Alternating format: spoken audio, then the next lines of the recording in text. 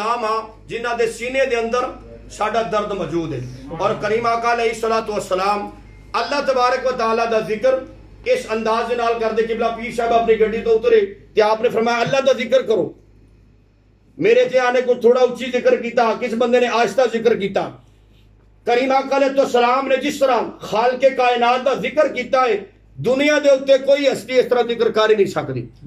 اور جو اللہ تبارک و تعالیٰ دے ذکر دا حق ہے ਉਹ ਜ਼ਿਕਰ ਦਾ ਹੱਕ ਕਰਕੇ ਕਿਸੇ ਨੇ ਅਦਾ ਕੀਤਾ ਹੈ ਤੇ ਉਹ ਕਰੀਮ ਆਕਾ ਅਲੈਹਿ ਸਲਾਮ ਦੀ ਜ਼ਾਤ ਹੈ اللہ پاک نے مزید ارشاد فرمایا فض کرونی از اے بندے تو میرا ذکر کر میں تیرا ذکر کروں محبت رکھو سبحان اللہ سبحان اللہ یہ بھی اللہ دا ذکر ہے اللہ نے فرمایا تو میرا ذکر کر میں تیرا ذکر کراں گا الحمدللہ حضرت بابا فرید الدین گنجے شکر احمد اللہ علیہ تعالیٰ نے سارے جان دے سبحان اللہ پاک پتن دی سرزمین دی الحمدللہ آپ تشریف فرما سن اسی طرح مجلس لگی ہوئی محفل لگی ہوئی۔ سارے بندے اللہ دا ذکر کر دے پہ کی کر دے سن؟ اللہ کا ذکر۔ سارے بولو اللہ اللہ اللہ اللہ اللہ اللہ اللہ اللہ۔ مجمع ایک بندہ بیٹھا کہنے لگا بابا جی دسو اس وقت اللہ کی کر رہے ہیں۔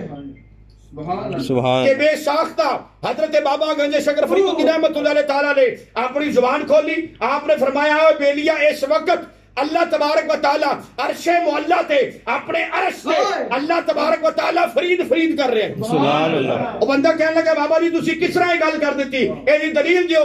حضرت بابا گنج شکر فرید الدین رحمت اللہ علیہ تعالیٰ نے آپ فرما لگے تو قرآن نہیں پڑھیا؟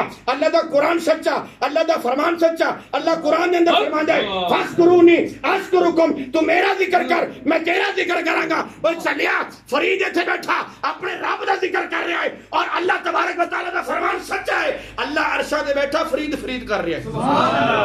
اللہ. قرآن دے اندر فرما رہا ہے فاسکرونی اسکرکم تو میرا ذکر کر میں تیرا ذکر کراں گا۔